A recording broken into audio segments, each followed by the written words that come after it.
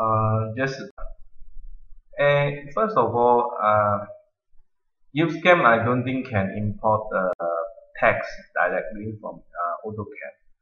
So if we if you really want to import the text I think you have to go to AutoCAD and uh, use this uh, command in AutoCAD text explode to explode all the text first and and then you import the GIFs if you need. I have a file here so you can test it out. Okay. Uh, yeah, I've tried to import this. Just let's import. I'm going to use the Z-axis horizontally laid. Uh, okay. Uh, I've tried this uh, prefer plane change to ZX. It seems that is not working. Yeah, you always go to the XY so I'm going to show you how to work around and just click process to import everything inside. Okay after you import you can see uh, I don't know why but in this uh, files it contains some surface also. So you can use the shift button and the mouse to select all this and press delete buttons again to delete those unwanted things. Yeah like that. Solid. Let me uh, come in again. Delete this. This is unwanted. Yep. And you can see all the lines now is uh, at the XY plane. And you can check out the work group. I think you have uh, different geometry for workloads, right? Different layer contain different things. You can off the layer display if you want. Let me change it. Uh, let me change my working group here. Here. And I think this is now this also let's close it. Let's close this. And I think this is the geometry that we need right okay now.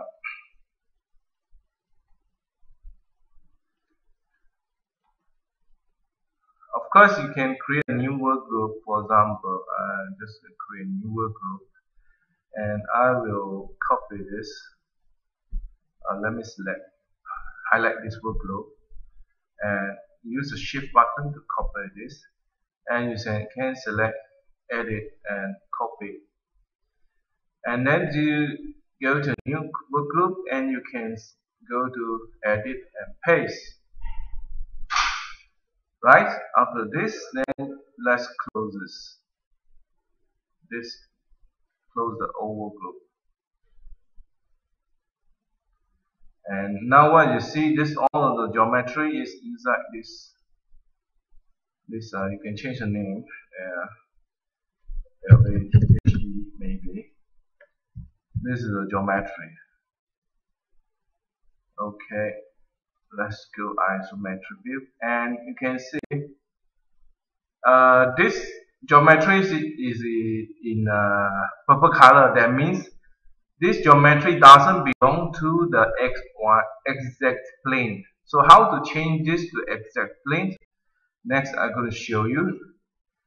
Uh, make sure you of course make sure over here the coordinate system is explained. And then go to uh, use the shift button sorry.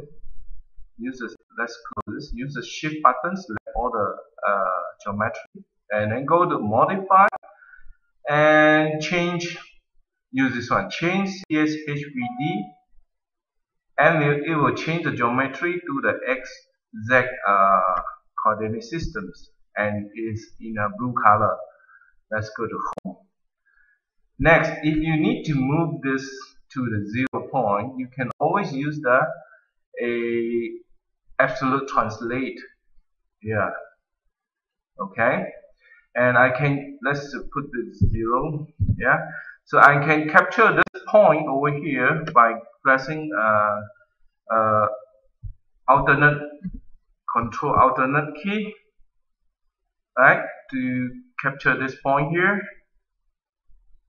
This is for one one point. If you want two point you have to press the shift alternate. Shift alternate it will update the Z and D as well. And move to where? So I'm going to move to this position 0 0 0 and select all the press shift key again shift key select all the geometry and just click do it right? There you are. After you select do it. Uh, you can see the stock is still big. You can go to view and shrink wrap right? And from this data you still can change maybe 20 the, the, the stock. Right? 20 or I will maybe use the on control key to capture value. Here is 30 uh, how about 35 maybe 1 mm and maybe minus 200 for example for the stock right? So this is how you import the geometry from the AutoCAD and uh, copy the geometry that you need and import to the uh, new workgroup and readjust the coordinate system for the geometry. Of course, uh, here you need to you know close this gap. To close this gap, I think uh, is round? Here is it arc. Okay, maybe I can't delete this and also this one also and this and this. Ah this is not a arc I think. Not a arc let's undo. Look. Uh oh let's redo. Right.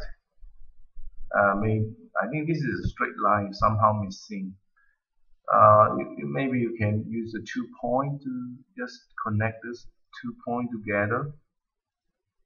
Yeah like that. And then uh, after that maybe we do this point again this point again.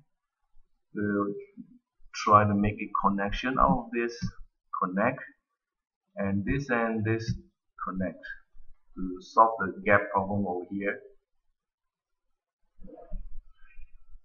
and let's save.